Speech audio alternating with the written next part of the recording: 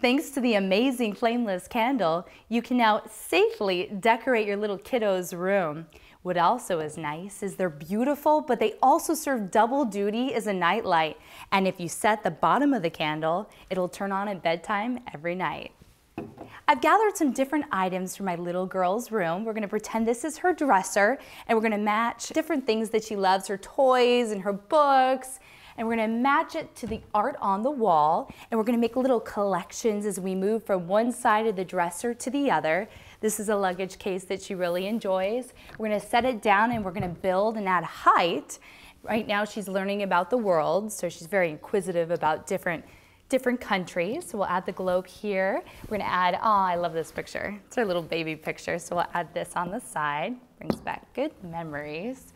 Her initial, that can go right like this. And her favorite stuffed animal from when she was born. And I love these little candle holders right there. And now the candle also becomes a night light.